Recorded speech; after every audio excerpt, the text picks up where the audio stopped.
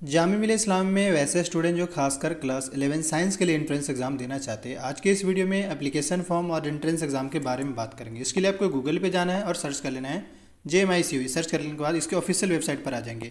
आपको इस वाले सेक्शन में अभी फॉर्म हालाँकि आया नहीं है, फिर सवाल होगा फॉर्म कब तक आएँगे? फॉर्म इलेवन साइंस का जो फॉर्म है, वो ठीक मार्च के मंथ में आएगा और at least one month time मिलेगा फॉर्म फिल करने का। वही अगर एंट्रेंस एग्ज़ाम की बात करें तो ठीक आपका लास्ट अप्रैल से मई के बीच में आपका एंट्रेंस एग्ज़ाम होगा एक्सपेक्टेड मैं बता रहा हूँ। इसके अलावा एक सवाल होगा कि तैयारी कैसे, क्योंकि फॉर्म और एंट्रेंस के बारे में पता चल गया। तैयारी कैसे करें? तैयारी करने के लिए आपके पास सिलेबस होना चाहिए पीवाईक्यू होना चाहिए, और अगर आप ऑनलाइन कोचिंग ज्वाइन करना चाहते हैं तो स्टूडेंट फॉर बिहार में बैच चलाए जरा ज्वाइन कर सकते हैं। रहा सवाल सिलेबस के लिए, आपको वीडियो के डिस्क्रिप्शन बॉक्स में एक व्हाट्सअप ग्रुप बनाएगा, वहाँ से आप एसेस कर लेंगे। पीवाईक्यू के लिए मैं व्हाट्सअप नंबर मेंशन कर दे रहा हूँ, आप उस व्हाट्सअप नंबर से मैसेज करके आप पी एसेस कर सकते हैं। इसके अलावा क्लास नाइन से रिलेटेड मैंने प्लेलिस्ट बनाया, वहाँ जाकर आप चेक कर लीजिए। इलेवन के रिलेटेड मैंने प्लेलिस्ट बनाया, आप वो देख लीजिएगा। Thank you.